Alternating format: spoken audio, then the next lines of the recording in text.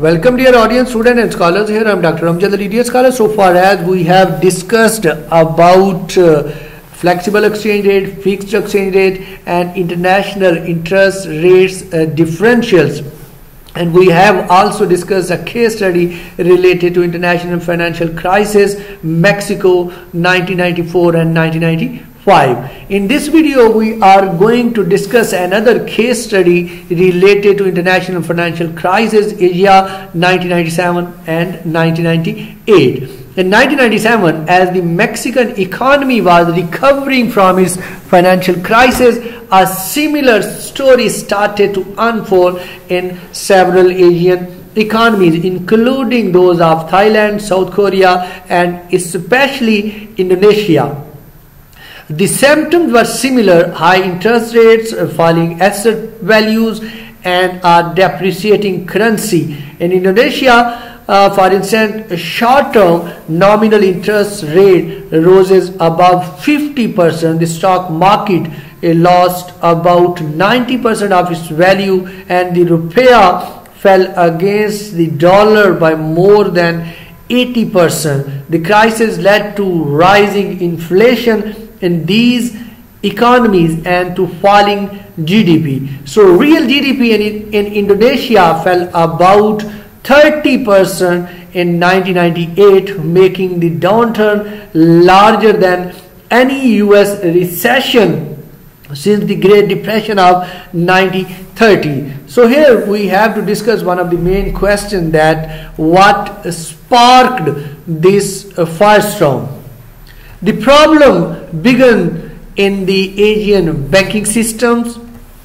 For many years, the governments in the Asian nations had been more involved in managing the allocation of resources, in particular financial resources, than is true in the United States and other developed countries. So some commentators had appreciated this partnership between government and private enterprise and had even suggested that United States should follow the example. So over time, however, it became clear that many Asian banks had been extending loans to those with the most political clout rather than to those with the most profitable investment projects. Once rising default rate started to expose this, this crony capitalism as it was then called international investors started to lose confidence in the future of these economies.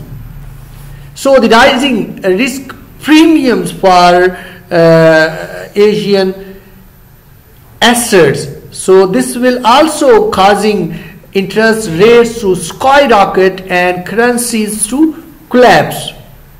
So international crises of confidence often involve a vicious circle that can amplify the problem. Here is a brief account about that what happened in Asia.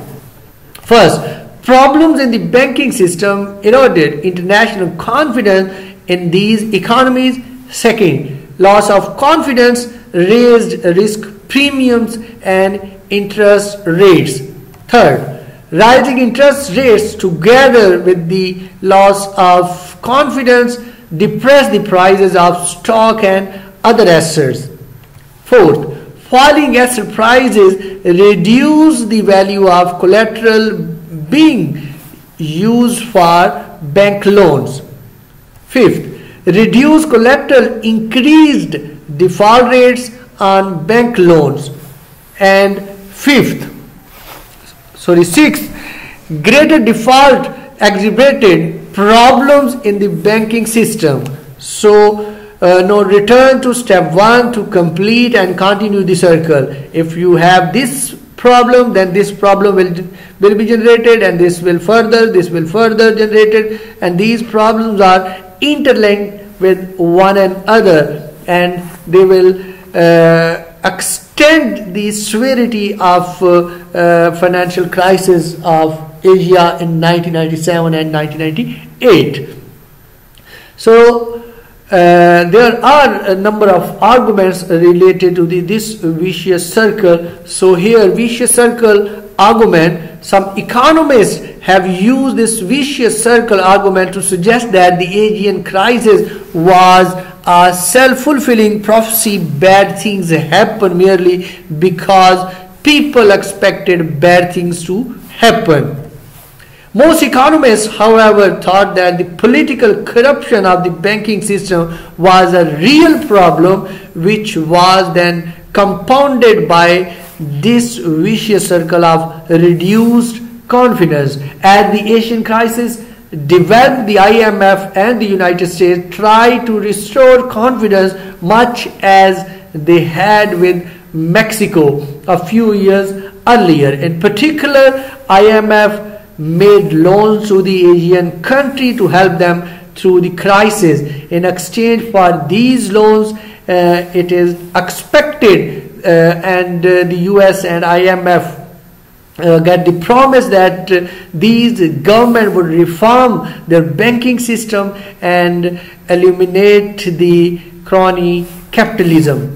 The IMF hope was that uh, the uh, short-term loans and long-term reforms would restore confidence, lower the risk premium, and turn the vicious circle into uh, a, a virtuous one. This policy seems to have worked. The Asian economy recovered quickly as compared to Mexico. So this is all about the international uh, financial crisis, Asia 1997 and 1998. So see you with another video. Ciao.